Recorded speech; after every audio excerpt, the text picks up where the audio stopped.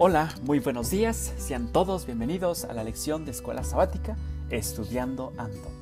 Les saluda a su amigo y pastor Isaí López Hipólito desde la Ciudad de México.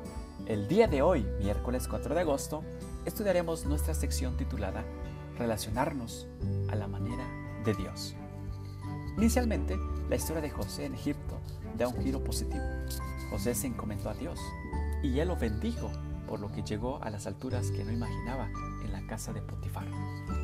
¿De qué forma practicas y de qué forma o de qué formas tú podrías ver las bendiciones de Dios en la vida de José? ¿Cómo eran las relaciones interpersonales de José?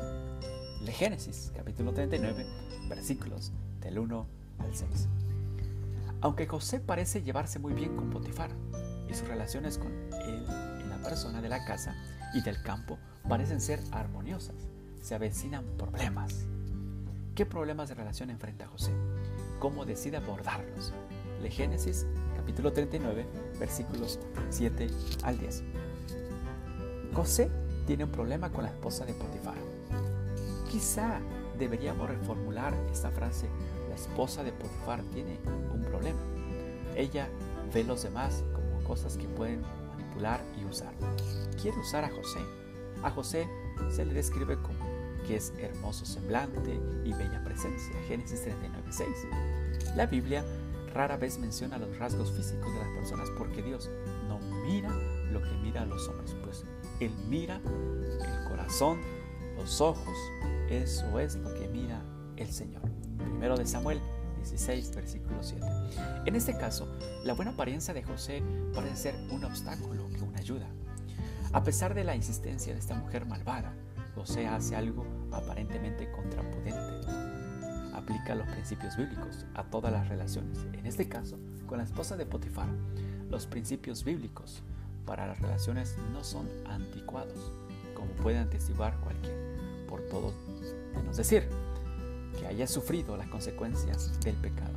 La esposa de Potifar lo persigue vez tras vez. Génesis 39:10.